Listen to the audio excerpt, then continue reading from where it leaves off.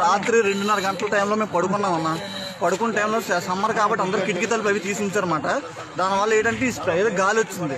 అదే స్టెర్ అనేది చెప్తాను నాకు కూడా తెలియదు నేను చదువుకోలేదు. ఆ వా- దానివల్ల ఊపిరాడలేదు మనిషికి ఊపిరాడక చచ్చిపోతున్నారు అన్నమాట ఇక మొత్తం ఒళ్ళంతా మంటలు కంట్లో నీళ్ళు కనీసం ఏ టైం నుంచి తలుపు తీసి బయటకు వద్దామన్నా సరే మొత్తం మంటలు పొగమంచు ఉంటుంది కదా పొగమంచు మొత్తం కప్పేసి మన చలికాలంలో. ఆ ఏ టైం అంటే ఎవరికి ఏటి తెలియట్లేదు. మొత్తం అంతా పరుగులు పరుగులు. ఎటు వెళ్తాం? డాన్స్ సైడ్ పరిగెట్టినా సరే గాలి వచ్చేస్తుంది. జనాలంతా పడిపోయి రోడ్ల మీద నడుస్తుంటూ పడిపోతున్నారు అన్న ఇంట్లో. చిన్నపిల్లలు సైతం మొత్తం ఇంట్లో మా అమ్మాయిలు కూడా పడిపోయారు మరి కింద పడిపోయారు. ఏం చేయాలి తెలియక నలుగురు సంస్థలు తీసుకొచ్చి చేస్తున్నాం.